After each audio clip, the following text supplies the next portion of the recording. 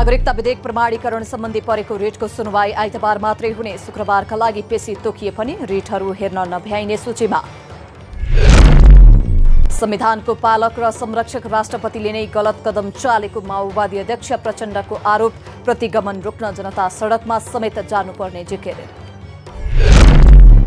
नागरिकता विधेयक प्रमाणीकरण नगरेको भन्दै राष्ट्रपतिको विरोधमा जसपाले मधेस केन्द्रित आन्दोलन गर्ने संविधानले घोर उल्लङ्घन गरेको आरोप अवैध संरचना भत्काउने काठमाडौँ महानगरपालिकाको अभियान जारी। अनाम नगर क्षेत्रमा रहेका अवैध संरचनामा डोजर लगाइयो। अनुमति बिनाको होर्डिङ बोर्ड र डिजिटल विज्ञापन हटाउन काठमाडौँ महानगरपालिकाको निर्देशन। त्यस दिनभित्र शुल्क नबुझाए महानगरले हटाउने चेतावनी। डेङ्गी संक्रमण नियन्त्रण बाहिर लामखुट्टे निर्मूल अभियान चलाउनु पर्ने विज्ञहरूको सुझाव। असोज छ गतेसम्म मृत्यु हुनेको संख्या सत्ताइस पुग्यो। चाडबाड नजिकिएसँगै भारतमा रोजगारीका लागि गएका नेपालीहरू घर फर्कन थाले। हरेक वर्ष जस्तो सीमा क्षेत्रमा भारतीय प्रहरीद्वारा ज्यादती। नेपाली प्रशासन मौन। पोखरा महानगरपालिकाद्वारा बजार अनुगमन तीव्र। पहिलो चरणमा मासु पसलहरूमा अनुगमन।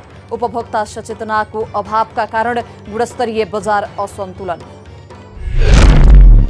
मङ्सिरमा हुने चुनावको आचार संहिता पालनालाई कडाई गर्ने निर्वाचन आयोगको प्रतिबद्धता।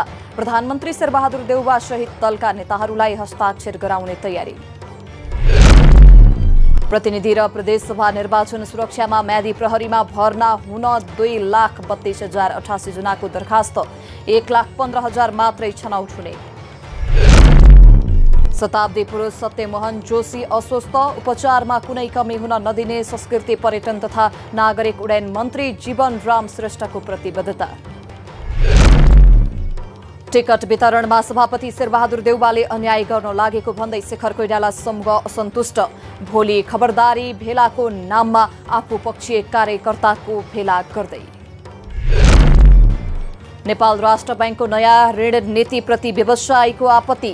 बाँकेका व्यवसायी आन्दोलित ब्याङ्कको चर्को ब्याजदरका कारण मारमा परेको गुनासो। नेपाल भ्रमणमा रहेको युरोपेली सांसदको प्रतिनिधि मण्डल र परराष्ट्र मन्त्री नारायण खड्का बीच भेटवार्ता वातावरण र जलवायु परिवर्तन तथा नवीकरणीय ऊर्जा व्यापार तथा लगानीका विषयमा कुराकानी। आगामी निर्वाचनमा नेकपा एमाले र लोकतान्त्रिक समाजवादी पार्टी बीच तालमेलका प्रयास। वरिष्ठ नेता राजेन्द्र महतोको नेतृत्वमा लोसपाले बनायो छ सदस्यीय वार्ता समिति। उत्पादन वितरण र विद्युत व्यापारमा मुलुक नयाँ चरणमा प्रवेश गरेको ऊर्जा मन्त्री पम्फा भूषालको दावी। बङ्गलादेशको संयुक्त लगानीमा सुनकोशी तेस्रो बनाउने प्रतिबद्धता।